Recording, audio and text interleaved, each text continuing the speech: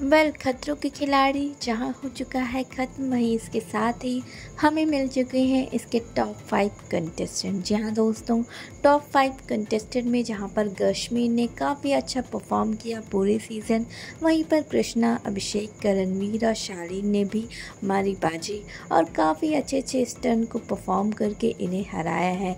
Well इसी के साथ जहाँ खतरों के खिलाड़ी फिनाले की बात की जा रही है, वही फिनाले के साथ ही सारे कंटेस्टेंट क्वेश्चन आ चुके हैं और इस रेडी को हम देखेंगे कि आखिर इनमें से कौन बनेगा। विजेता। वेल हायर चांसेस है कि करणवीर या फिर बन चुके हैं अभिषेक कुमार इस सीज़न के विनर क्योंकि इनके हिसाब से इनके पोस्ट सोशल मीडिया पर ऐसे डाले गए जिसके ये लग रहा है कि ये लोग अपनी जंग को जीत चुके हैं, जहाँ पर अभिषेक कुमार ने काफ़ी सारी शायरियाँ पोस्ट की अपने विनर बनने के लिए। वहीं इसके साथ ही सभी कंटेस्टेंट ने अपनी जर्नी को भी शेयर किया।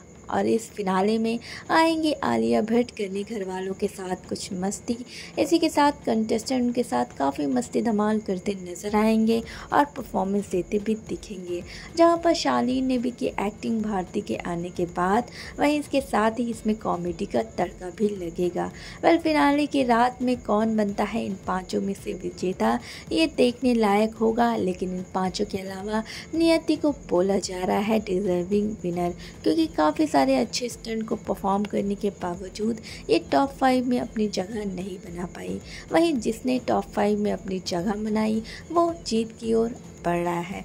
वेल इन टॉप फाइव में से आपको कौन लगता है सबसे ज़्यादा डिजर्विंग विनर और किसे बनना चाहिए खतरों के खिलाड़ी का विनर हमें कमेंट करके ज़रूर बताएँ और सब्सक्राइब करें हमारे चैनल को अपडेट्स के लिए।